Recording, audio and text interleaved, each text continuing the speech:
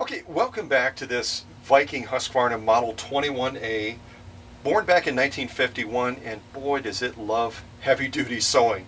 It's got that 1.5 amp original Swedish motor, bigger than any of the machines that I described in the introductory video, and just unbelievably powerful. Plus it has those steel tooth drive belts inside that power that drive shaft as well.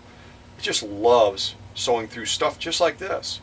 And this is commercial grade vinyl. Vinyl is very difficult to get through.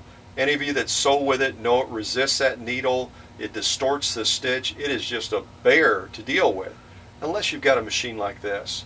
A machine that we serviced and it just eats up material like this that would bog down other machines. And we're not talking one or two layers. We're talking a total of four layers of this stuff. Let me group it together and show you what four layers of commercial grade vinyl in fact looks like.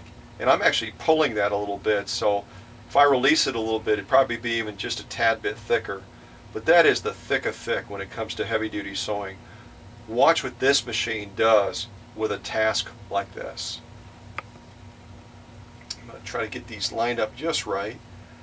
And notice as well, even with that many layers, boy, that just slides underneath that presser foot like a dream. All right, presser foot is down. We've got four layers of very thick commercial grade vinyl. Here we go.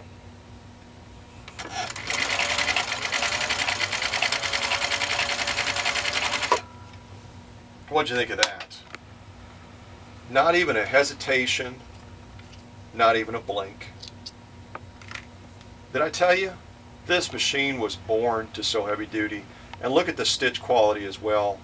I'm going to pull it back a little bit so you can really get a clear view of just how gorgeous those stitches in fact are. Everything about them is just picture perfect.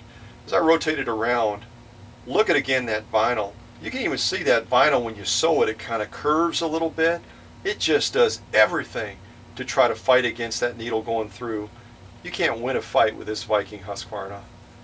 And as I turn it around, that lock-in stitch is just as picture perfect. And as I say oftentimes, you don't have to take my word for it. You can look with your own eyes and see that stitch quality and the winner will get all of these sew-offs as well. So they'll be able to, excuse me, they'll be able to feel it with their own hand and see for themselves again how incredible this machine in fact is. It lives and breathes heavy duty sewing.